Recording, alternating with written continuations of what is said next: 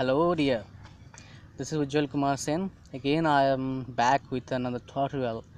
Well, in my last last tutorial I talk about uh, uh, what you should do in your mechanical engineering project.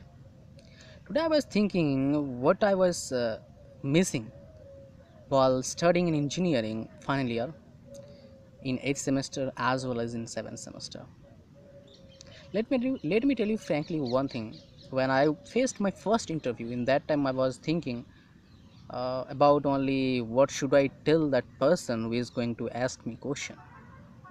And it was really a bad time for me when i was sitting in front of him. And today i'm going to share with you few tips uh, interview tips and tricks. But most important thing is that the first question most of the 99% hr that means human resource management person ask the fresher.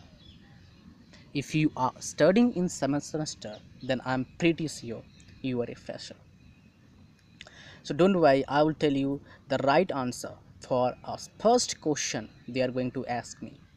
That first question is tell me something about yourself.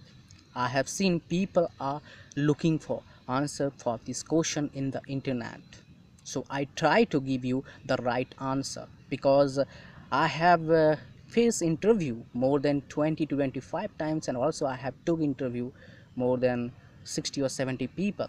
Those are looking for job and those came to my ordination. That's why i'm sharing with you my my experience from both of side. As an interviewer and interviewee there are two things.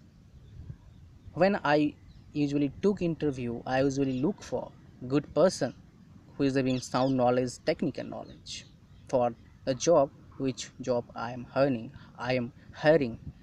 And uh, on the other side those person came to me. They always thinking about that i have to get selected i have to get selected. This is a wrong this is really a wrong approach to get selected because uh, you will get selected only you have that quality without that it is really you know there is only 10 or 20 percent 10 to 15 percent probability that you are going to get selected. But even then you will not be happy in your job because you are not suitable for that job. So always go for an interview whenever there is a job which is suitable for you. Without that don't go there. Now the answer for your question tell me something about yourself. It's really difficult question for anyone who did not heard about this question before. Because telling about himself or herself is really difficult. Because you did not heard about this, this thing from anyone you did not even studied and you did not even thinking. Suddenly if someone ask you this question then really you will be confused to tell him. So what you should tell as a fresher that's why your interviewer will get impressed from your side first of all i have checked this.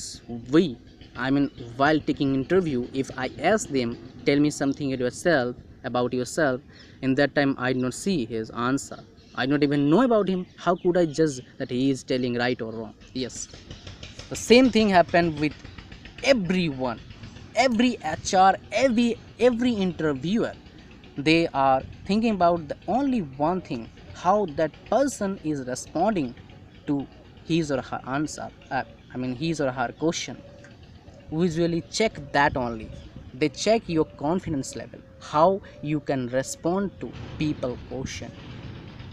And uh, most important thing is uh, you can tell them your name you are belonging from where you are belonging from and uh, your education background and at last you can tell that uh,